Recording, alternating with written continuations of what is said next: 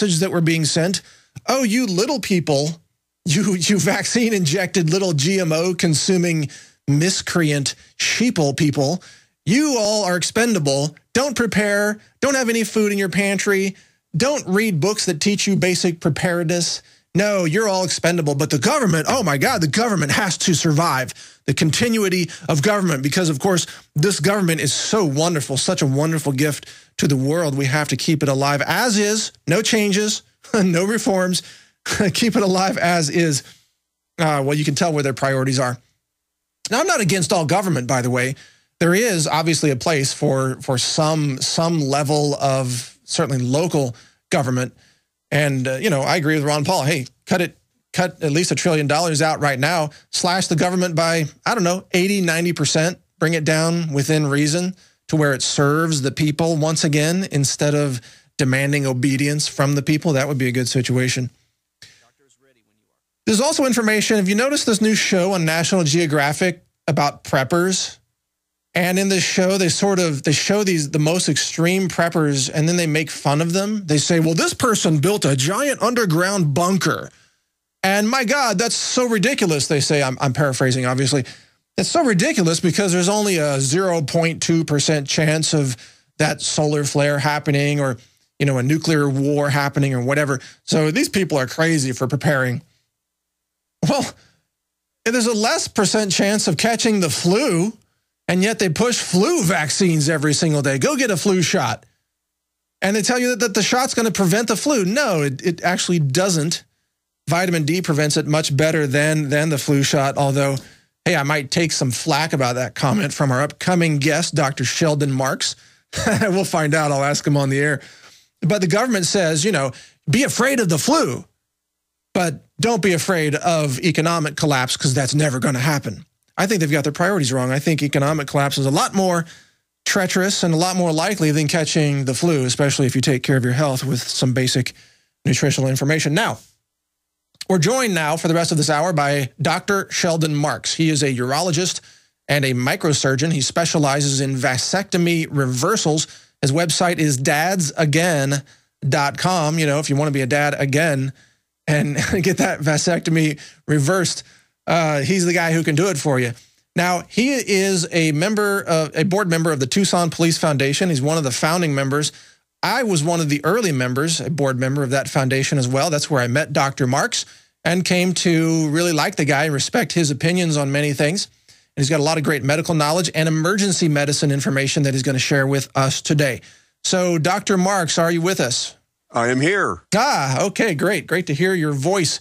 Are you joining us with voice only or Skype video too? I'm on the video as well. Oh, I see you now. There you go.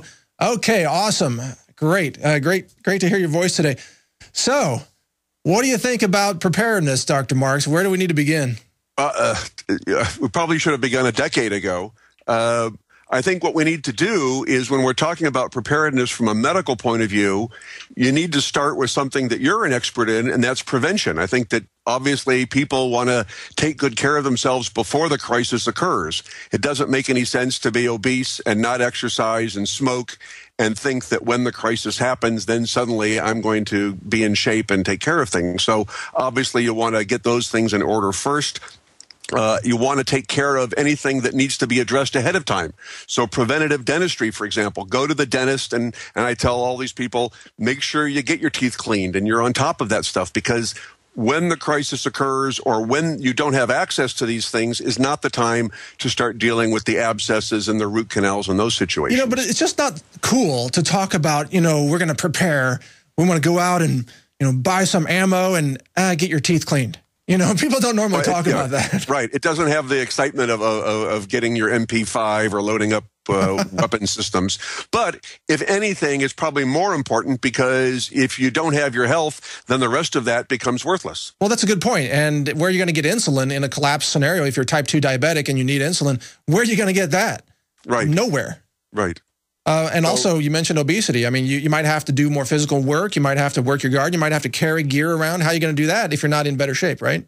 Absolutely. So it's first thing first is is is look at, at your own situation and not just yourself, but look at your family. Look at your kids, your spouse, your parents. Who are you going to be involved with? Who's part of your little community and, and talk to them about health. And so it's part of it is obviously nutrition, diet, exercise, uh, mental health. Uh, avoiding bad habits. The tobacco alcohol thing is obviously bad, but it's it's also doing preventative things like going to see the dentist. If you're old enough 45 or 50, then you should be getting your colonoscopy. As exciting as that sounds. Uh, well, you're, you're not making our show sound exciting, Sheldon. Uh, well, I apologize, but well, you're freaking out. I know all these, all these. it's, it's, it's, so it's, it's those kinds of simple little easy things. Part of, I guess, when you talk about is once you've got past that, then if you're starting to look at from a medical point of view, what are you going to do? The question is, what are you preparing for? Uh, and, and, obviously, like you had talked earlier about, is there's the common things to worry about that are most likely, and then there's the rare and more devastating things that people want to talk about, and that's the stuff that gets the headlines and gets everyone excited. Right. You need to take into account all of those things. You need to think through what are our needs as a family and neighbors, and then what do we do so that we can take care of ourselves? And you know, you're not going to be able to buy a book and go out and do uh, hip reconstructive surgery or the appendectomies. I mean, it's it's even when you know what you're doing, simple things can become nightmares just because of the the magic of the way the body is designed. All right, let's, let's, do. Go ahead. Let's talk about the medical kits. Though a lot of people go out and they buy these medical kits or these first aid kits, and it says it's got 500 pieces in it, and you know 490 of those pieces are bandages.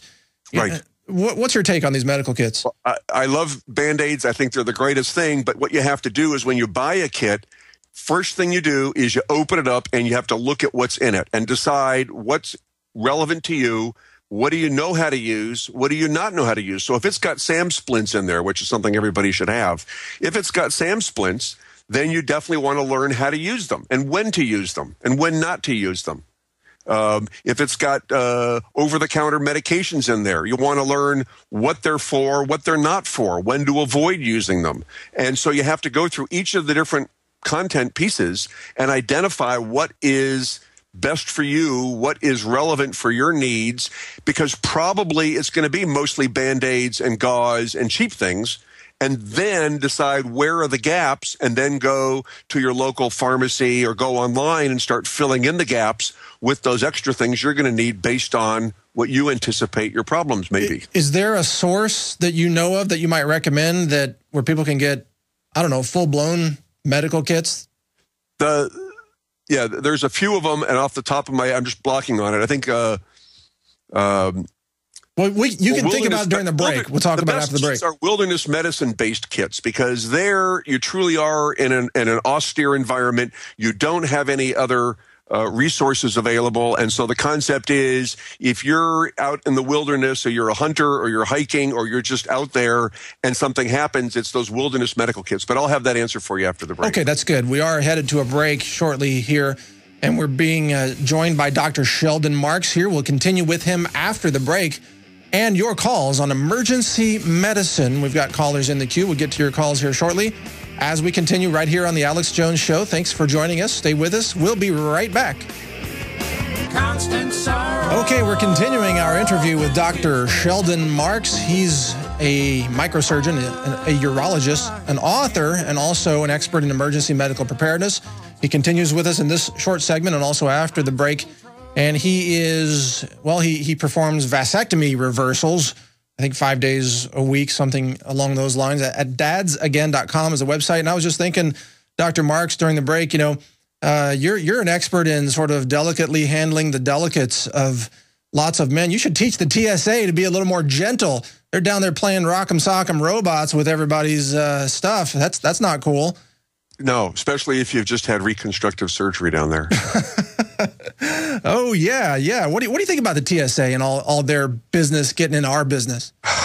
You know, that's that's that. I, I, I don't know. I get so confused because you know I think that clearly we want to maintain our rights, but on the other hand, uh, I, I, the, the, bad guys unfortunately seem to get all the privileges, and we're the ones that get punished. I, I think that with yeah. 9/11, from what I understood, the problem was that it wasn't so much people getting on the planes with things, but stuff that had been pre-placed. In fact, I spoke once to a flight attendant whose plane was grounded on 9/11 before any passengers were allowed on, and she found a bunch of knives and blades already pre-positioned on the plane, obviously by the tarmac workers. So. Wow everyone's so excited. I, I, think the problem is we become very reactive. We wait for something to happen. So the shoe bomber, suddenly we're looking at shoes. The underwear bomber, suddenly we're looking at underwear. We're not thinking ahead. We're not trying to think what these people are going to do and how they're going to do it. I think that, yes, screening the little old ladies to some degree is important to some point, but I think the tarmac workers are the ones that come and go, and, and, they should be screened. And I have no idea what's happening with those people. Well, the I know this is not what I invited you on here to talk about, but just right. you know, the shoe bomber was put on there by government operatives. The underwear bomber was put on there by high level operatives. I mean, this, this is not an accident, uh, not a coincidence. But anyway, let's get back to uh, medical issues here. Right.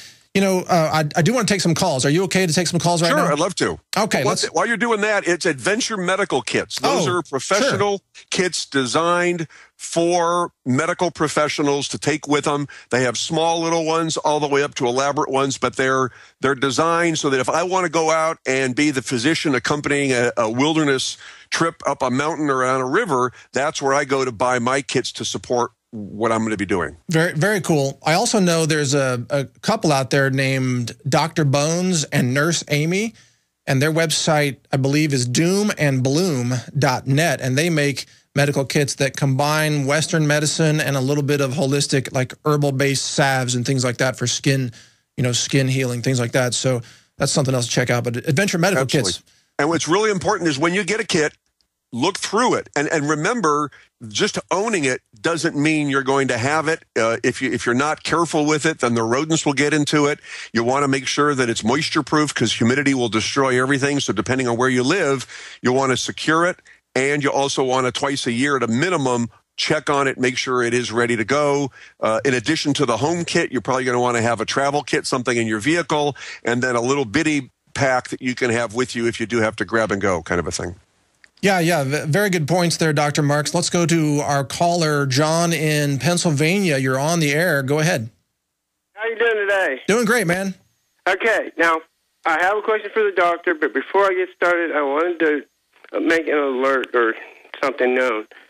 Uh, we have a gentleman who was on the Daily Paul on February the 7th. He's a Ron Paul supporter. He's also well, hopefully going to be the next Ron Paul. He's running for Congress in the Pennsylvania 9th. His name is Travis Schooley. Has a Facebook page. And uh, I just wanted to get that out there. Hopefully, some people can send him some cash. If everybody. Right. Tra Travis Schooley, how do you spell his last name? S C H O O L E Y. Okay, just like it sounds. Travis Schooley, interesting candidate. Uh, go. Do you have a question for Dr. Marks? Uh, he's a great guy. From what I understand, I just found out about him. Uh, he needs a lot of organization now. No, I, I, I hear you, man. I hear you. All but right. we've got Dr. Marks as a guest right now. You got a, you have a question for him? I have a very complicated question. Uh-oh. My son is an epileptic, okay? He had a stroke before he was born. I'm uh, basically prepared for about every scenario that that last guy talked about, but this. Is there some type of natural source of anti... Uh, Anti-seizure medication, yeah. maybe? Yes. Uh, he's on Depakote. Okay, takes a sprinkle of that. Okay, we, we got your we got your question, John. Thanks for calling in. We were, we're about to go to break, but Dr. Marks, if you would think about that question during the break and answer it on the other side. Uh, sounds like that. interested in some getting his hands on some anti-seizure medication for his kid. So uh, that's a very reasonable question.